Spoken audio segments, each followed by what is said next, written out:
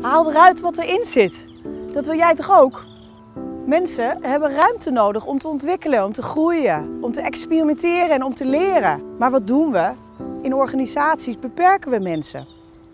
In mijn werk als, eh, als HR-adviseur kwam ik in organisaties en kreeg ik als eerste een organogram. Een, een, een overzicht met allemaal hokjes. Zo zijn wij georganiseerd, zeiden ze dan. Maar die hokjes, die beperken mensen. Die vormen eigenlijk muren. Die houden mensen tegen om te zijn wie ze zijn. Want mensen houden niet op bij dat hokje. Mensen hebben allerlei capaciteiten die ze totaal niet benutten in die functie. En ze moeten allerlei dingen doen die helemaal niet bij ze passen.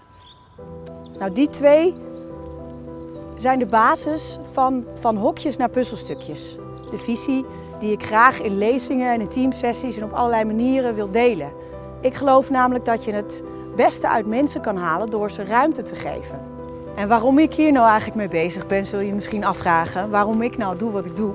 Nou, ik ben eigenlijk altijd gedreven om uit mensen te halen wat erin zit. En ook uit mezelf te halen wat erin zit. En ik geloof ook dat dat de bedoeling is in het leven. Dat we echt onszelf helemaal, maximaal benutten. Ik word ingehuurd als er verandering nodig is. Wat voor verandering dan ook.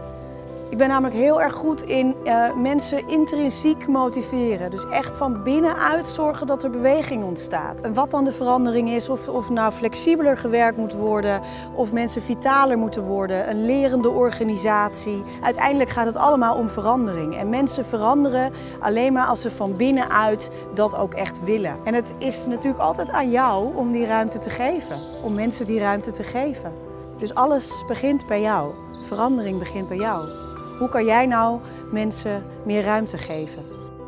Op mijn website www.purehuman.nl kun je alles vinden over wat ik en mijn team voor jouw organisatie kan betekenen. Dus wil je ook verandering? Surf er dan snel heen.